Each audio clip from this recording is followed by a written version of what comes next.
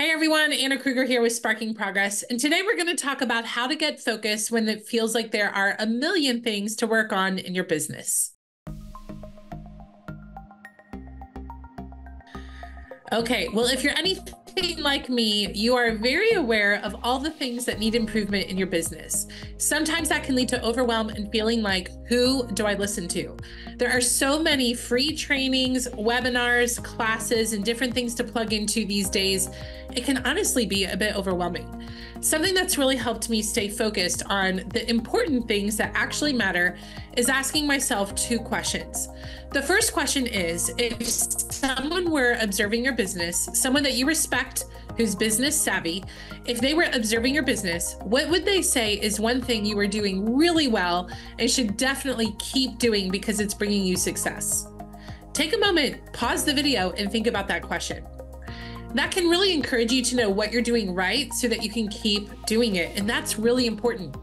The second question is if this person that you really respect in business were observing your business for a day, what would they say you absolutely must improve in order to increase your business?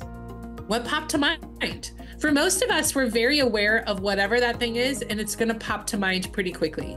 Whatever that thing is, that is the thing to engage in training about. So if it's lead generation and conversion, hop into mega lead conversion. If it's something regarding your finances and maybe you're spending too much, that might be an opportunity to take a class around your finances. So, whatever the answer is, that can help direct what you pay attention to and what to stop listening to because it's just extra noise. Science actually shows that if you're working on improving more than three things at one time, so if you're working on four or more things, you are actually not likely to do well in any of them. The magic number of things to be working on at any one time is no more than three.